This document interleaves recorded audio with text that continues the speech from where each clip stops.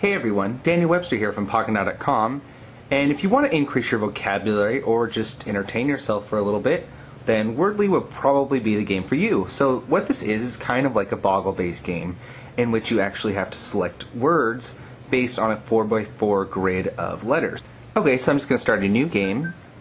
And the way that it works is you actually have to scroll your fingers on the letters to select that word. So let's see, I have pins and nip and looks like I have pins again, but I can't pick that. You can't have the same word twice. And as you can see on the bottom, it actually shows 2 out of 86 words possible. So, tad.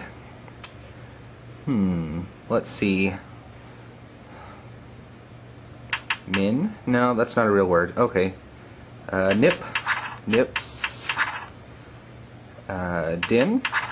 Dins. Oops. Okay, so anyways, as you can see, you can just pick many different words, and when you get to 20 seconds or less, it will start counting down your clock, and to show you how many words you've got right. So let me just see if I can get any more at the very end. Tad. Uh, we already had that one.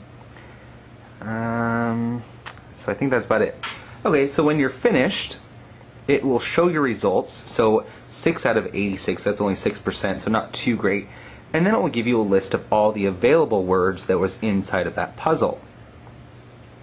So I'm just going to go to the main menu right now, and we can go into some of the settings. And here's where you can actually change your time limit, so you can have 1 minute, 3 minutes, 5 minutes, or unlimited, depending on how you want to challenge yourself. You also have, can turn on your sounds and turn off your sounds. We can just go back by clicking this arrow.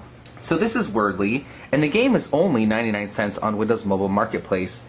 And this is another Marketplace pick where we choose some fun and interesting games on Windows Mobile Marketplace. Thanks for watching.